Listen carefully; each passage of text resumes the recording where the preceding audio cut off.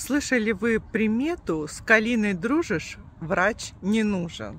Действительно, с калиной связаны очень многие приметы, и по вашим запросам я немножко расскажу об этом растении. Действительно ли можно его сажать около дома или же во дворе?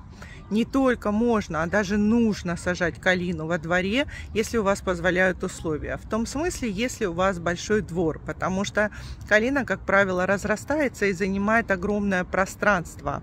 И а, конечно, прореживать ее и срубать это не очень хорошо. А, скажу так, что калина, конечно, она защищает от различной порчи, от различного негатива. Почему ее сажали именно около, у входа в ваш дом или же даже перед входом в ваш дом? Потому что как только э, человек, желающий вам зла, заходил в красные ягоды, его отпугивали.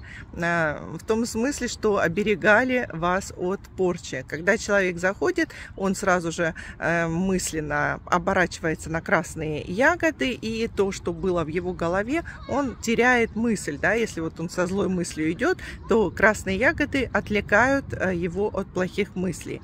Точно так же калину можно взять, например, собрать пучки калины и разложить по углам дома. Или же, например, на подоконнике повесить над входной дверью. Это, во-первых, и защищает от негатива, и также привлекает в дом достаток, счастья и финансовое благополучие.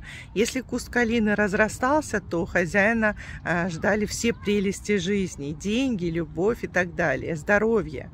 Ну и, конечно же, если куст загибался или засыхал, то у хозяина были какие-то проблемы и нужны были чистки. Девушки, которые хотели выйти замуж, они набирали себе калину и делали бусы бусы. Но здесь интересное было правило. Если девушка наберет себе калину, не считая, придет домой и начинает нанизывать ее на ниточку, и у нее четное количество а, калины, значит, она обязательно в течение года выходит замуж. Потом эту э, калину высушивали, то есть вот эту нить с калины высушивали, и периодически одевали на себя девушки, которые хотят выйти замуж. Сейчас, конечно, калиновые бусы вы одевать на себя а, можете не одевать, в общем-то, но в своей квартире, в своем доме, в своей комнате эти бусы вы можете повесить над спальней или же можно прям над спальным местом. И в течение года вы обязательно выйдете замуж. Это очень хороший ритуал.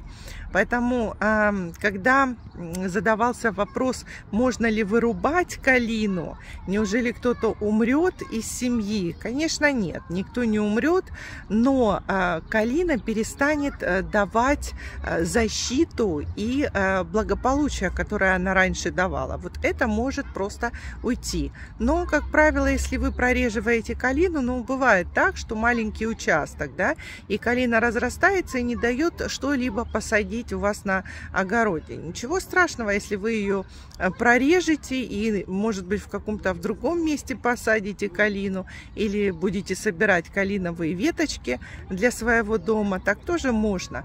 Но негатива какого-то конкретного, если вы прорубите эту калину, она вам не даст. Так что не переживайте и живите счастливо. Пишите свои вопросики, о чем вы хотели бы еще услышать у меня на канале. Я с удовольствием вам все расскажу. Всех люблю, всем пока-пока.